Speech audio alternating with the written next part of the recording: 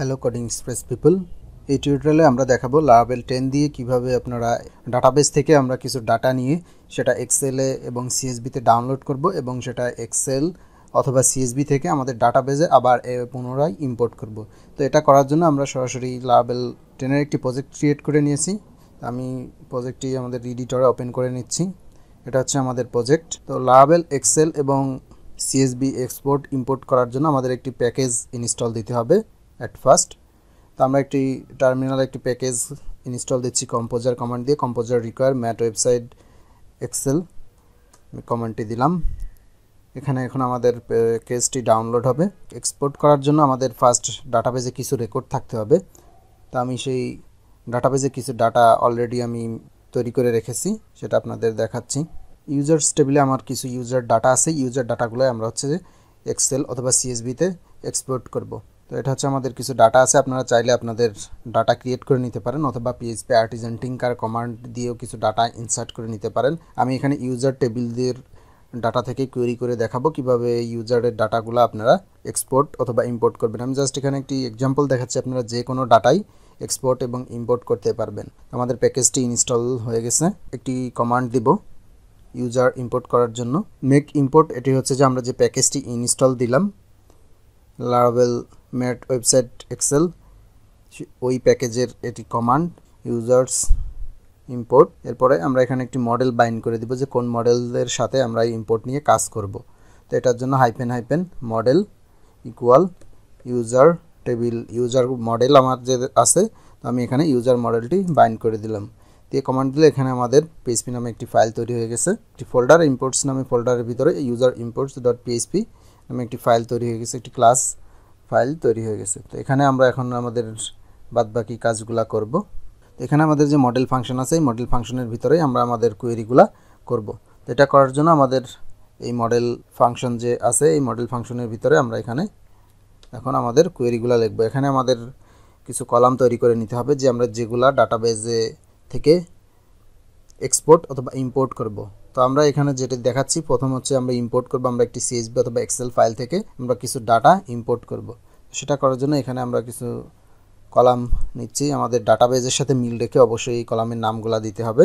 Rho রোটি হচ্ছে যে আমাদের অ্যারে অ্যারের ভিতরে আমি এখানে দিয়ে দিচ্ছি নেম আমাদের ইউজার টেবিলে কিন্তু এই ডাটাগুলাই আছে। আমি সেম এগুলাই দিয়ে দিচ্ছি। ইমেইল এবং আরেকটি হচ্ছে পাসওয়ার্ড পাসওয়ার্ডটি আমরা হ্যাশ আকারে সেভ করব, এই জন্য আমরা এটা হ্যাশ দিচ্ছি ক্লোন ক্লোন মেক হ্যাশের নেম স্পেসটি আমরা উপরে অবশ্যই ইম্পোর্ট করব। এখানে আমরা ইউজ ইলুমিনেট সাপোর্ট ফেসাদ হ্যাশটি ইম্পোর্ট করে নিলাম। এবার ম্যাকের ভিতরে হচ্ছে যে আমাদের যে ডাটাটি আসবে, সেটা আমরা দিব রো পাসওয়ার্ড আমাদের এখানে এটি বানানো শেষ। আমরা জাস্ট উপরে যে ক্লাসটি আছে, এই ক্লাসটি ইমপ্লিমেন্ট যে টু টু মডেলস এখানে আমরা একটি কমা দিয়ে নাম দিব উইথ হেডিং রো। এটা অবশ্যই আমরা উপরে ইম্পোর্ট করব এই নেম স্পেসটি এখন আমাদের কাজ হবে, আমাদের একটি ফাইল লাগবে, যে ফাইলটি আমরা আপলোড করব। আমাদের একটি কন্ট্রোলার ক্রিয়েট করতে হবে। আমার অলরেডি একটি কন্ট্রোলার ক্রিয়েট করা আছে। এখানে আমি মাই কন্ট্রোলার নামে একটি কন্ট্রোলার ক্রিয়েট করে রাখছি এবং একটি ফাংশনের ভিতরে আমার একটি ব্লেড ফাইলও রিটার্ন করা আছে। আমার যে ডাটাবেজে ইউজারগুলো আছে, সেই ইউজারগুলো আমি কোয়েরি করে এই ব্লেডের মধ্যে পাস করে দিব। ইউজার্স ক্লোন ক্লোন গেট দিলাম এবং আমি আমার ইউজারগুলো এখানে এই ব্লেডের মধ্যে পাস করে দিব। কীভাবে পাস করতে আপনারা অলরেডি জানেন। কম্প্যাক্ট কম্প্যাক্টের ভিতরে আমি ইউজার্স পাস করে দিলাম। আমি ইউজার্সটি এখন হচ্ছে আমাদের যে ব্লেড ফাইল আছে ভিউসের মধ্যে যাব। ভিউসের মধ্যে আমাদের এখানে ব্লেড ফাইল আছে এক্সাম্পল ডট ব্লেড এখানে আমরা এটা প্রিন্ট করব। এটা প্রিন্ট করার জন্য আমাদের লাগবে একটি টেবিল এটা হচ্ছে আমাদের ইউজার ইনফরমেশনগুলো এখানে প্রিন্ট করে দিলাম। আমরা যদি ফ্রন্ট ইন্ডে আসি, এখানে রিফ্রেশ দিলে আমরা এখানে ইউজারের ইনফরমেশনগুলো এখানে দেখতে পাচ্ছি। আমরা ক্লাস বা কোনো সিএসএস ইউজ করিনি টেবিলে এই জন্য এটা দেখতে এরকম দেখা যাচ্ছে। তো আমি এখানে টেবিলের একটি ক্লাস দিয়ে দিচ্ছি। এখন আমাদের নেক্সট কাজ হবে যে আমরা কিছু ইম্পোর্ট করব। এখানে, এখান থেকে আবার এখানে যে ডাটাগুলো আছে, এই ডাটাগুলো আমরা এক্সপোর্ট করব। মানে আমরা ডাউনলোড করব। সেটা করার জন্য আমাদের কিছু ফাংশনালিটির কাজ তৈরি করতে হবে। আমরা এর আগে ইম্পোর্টের ফাংশনালিটির কাজ তৈরি করেছিলাম, তো আমরা অ্যাট ফার্স্ট ইম্পোর্ট করার জন্য একটি ফাংশনাল তৈরি করব। কন্ট্রোলারে যাব কন্ট্রোলারে এসে আমরা এখানে আবার একটি ফাংশন তৈরি করব। ফাংশন ইম্পোর্ট নামে একটি ফাংশন তৈরি করতেছি আমরা এখানে। ইম্পোর্টের ভিতরে আমরা হচ্ছে আমাদের যে ইম্পোর্টের ফাংশনের আগে আমরা তৈরি করেছিলাম, সেই ইম্পোর্টটি এখানে কল করব। তো কল করার জন্য অ্যাট ফার্স্ট আমাদের এখানে লাগবে এক্সেল ক্লোন ক্লোন ইম্পোর্ট এবং ইম্পোর্টের ভিতরে আমরা আগে যে ইউজার ইম্পোর্ট নামে একটি ক্লাস তৈরি করেছিলাম, সেই ক্লাসটি আমরা এখানে কল করব। এটা আমরা অবজেক্ট হিসাবে এখানে কল করব ইউজার্স ইম্পোর্ট টি কল করলাম। এরপরে আমরা এখানে রিকোয়েস্ট পাস করব। রিকোয়েস্ট ফাইল আমাদের ফন্টেন থেকে একটি ফাইল আসবে এখানে। যে ফাইলের নামে আসবে, আমি সেই নামটি এখানে দিয়ে দিলাম। রিকোয়েস্টে আমি ফাইল নামে একটি ফাইল পাঠাবো। আমি এখানে ফাইল দিয়ে দিলাম। এখানে আরেকটি কাজ হচ্ছে যে আমরা যে এক্সেল এবং ইউজার্স ইম্পোর্ট ক্লাসটি নিলাম, এটার অবশ্যই নেম স্পেস আমরা উপরে ইম্পোর্ট করে নিব। আমরা উপরে এটার নেম স্পেসগুলো কিন্তু ইম্পোর্ট করে নিয়েছি। এরপরে নিচে আমরা দিব রিটার্ন রিডাইরেক্ট ব্যাক। এখানে চাইলে আপনারা রিটার্ন রিডাইরেক্ট ব্যাক দিয়ে একটি মেসেজও দিতে পারেন যে রিটার্ন এটা আপলোড হওয়ার পরে ইম্পোর্ট হওয়ার পরে এখানে একটি মেসেজ দেবে এবং সেই মেসেজটি ফন্টিন্ডে শো করবে। তো আমি আপাতত এখানে কোনো মেসেজ দিচ্ছি না। আমার এই কাজটি ফাংশনটি এখানে তৈরি করা হয়ে গেল এবং এরপরে আমি একটি রাউট তৈরি করব। রাউট ফাইলে যাচ্ছি। রাউট ফাইলে এখানে আমাদের একটি রাউট বানানো আছে। আমি এখানে আরেকটি রাউট তৈরি করতেছি।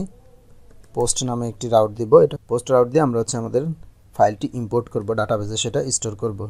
আমি এখানে একটি নাম দিচ্ছি জার্স এবং আমরা যে ফাংশনটি তৈরি করেছিলাম সেটার নামও এখানে দিয়ে দিব। এখানে চাইলে আপনারা একটি নামও দিয়ে দিতে পারেন।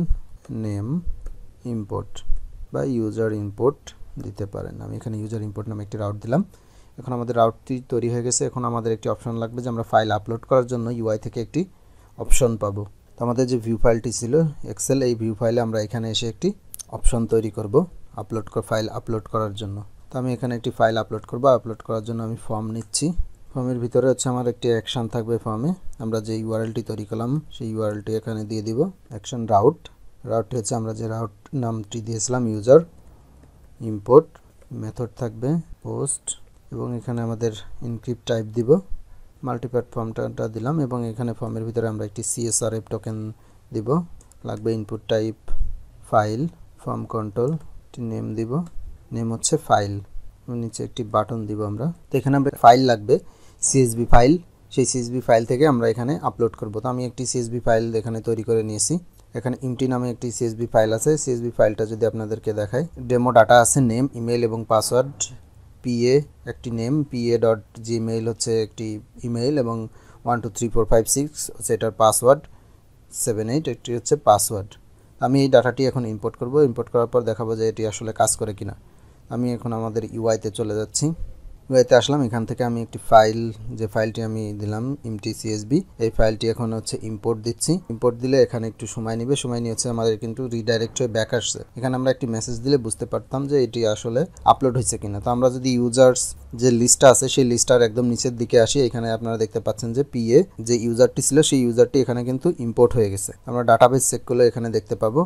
এগারো নাম্বার যে ইউজার এটি কিন্তু আমরা ইম্পোর্ট করলাম। এটিও কিন্তু এখানে ইম্পোর্ট হয়ে গেছে। আই হোপ হচ্ছে আপনারা বুঝতে পারছেন যে ইম্পোর্টটা আসলে কীভাবে কাজ করতেছে। আমরা নেক্সট পার্ট ডাউনলোড করব। আমাদের যে ডাটাগুলো আছে এখান থেকে সেটা আমরা ডাউনলোড করব। তো ডাউনলোড করার জন্য পাবলিক ফাংশন এক্সপোর্ট নামে আমি একটি ফাংশন তৈরি করতেছি এক্সপোর্ট এক্সপোর্টের মাধ্যমে হচ্ছে আমরা আমাদের ডাটাবেজে যে ডাটাগুলো আছে, সেই ডাটাগুলো আমরা ডাউনলোড করব। তো আমরা ইম্পোর্ট করার জন্য যেরকম একটি ইউজার ইম্পোর্ট ক্লাস তৈরি করেছিলাম সেম একইভাবে আমরা এক্সপোর্ট করার জন্য একটি ফাংশন একটি ক্লাস তৈরি করব।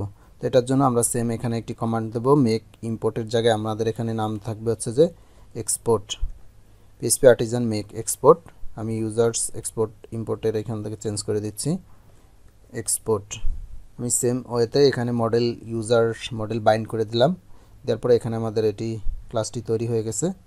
আমরা ইম্পোর্ট ফোল্ডারের মতো এখানে এক্সপোর্ট নামে আরেকটি ফোল্ডার পাবো। এক্সপোর্ট নামে একটি ফোল্ডার পাইলাম। এখানে আমাদের যে এক্সপোর্ট ফাইলটি আছে, সেই ফাইলটি এখানে আমরা ওপেন করে নিলাম। এখানে আমাদের কিছু কোড চেঞ্জ করতে হবে। ফার্স্ট আমরা হচ্ছে যে ক্লাসটিতে যে ইমপ্লিমেন্টেশন ফর্ম কালেকশন আছে, এখানে আমরা আরেকটি ইমপ্লিমেন্টেশন অ্যাড করব। এটা হচ্ছে যে উইথ হেডিংস এরপরে আমরা নিচে এসে যে কালেকশন ফাংশনটি আছে, এই কালেকশন ফাংশনে এখানে কিন্তু আমাদের ইউজার মডেলটি অলরেডি চলে আসছে। তো এখানে আমরা জাস্ট কিছু চেঞ্জ করে দিব। আমরা অল কোয়েরি না দিয়ে এখানে সিলেক্ট কমান্ড দিব। সিলেক্টের মাধ্যমে আমরা এখানে কিছু কলাম ডিফাইন করে দিব যে কি কি কলাম আমরা নিব। প্রথমে আমরা দিচ্ছি আইডি দিয়ে আমরা এটাকে গেট করে দিলাম। আমাদের ডাটাবেজে যে ডাটাগুলো আছে, সবগুলো এখানে গেট হবে। এরপরে নিচে আমরা আরেকটি ফাংশন তৈরি করব পাবলিক ফাংশন হেডিংস হেডিংসের ভিতরে আমরা হচ্ছে রিটার্ন করব। রিটার্ন আমাদের যে হেডিংগুলো আমরা দিব টেবিলের সেই হেডিংগুলো এখানে আমরা দিয়ে দেব। আইডি নেম ইমেইল দিয়ে দিলাম, আমাদের এক্সপোর্টের কাজটিও এখানে শেষ।